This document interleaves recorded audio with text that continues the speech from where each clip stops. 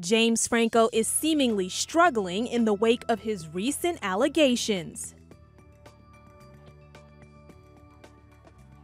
A source tells E.T. Franco's friends are very concerned about his well being.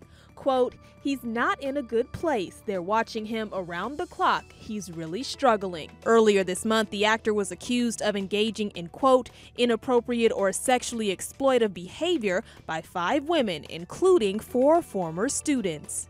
A source says Franco has been a nervous wreck ever since the Me Too movement started gaining momentum. In my life, I, I pride myself on taking responsibility for things that I've done. The 39 year old addressed talk of his alleged inappropriate behavior on The Late Show with Stephen Colbert on January 9th. The way I live my life, I can't live if, if there's restitution to be made. I will, I will make it.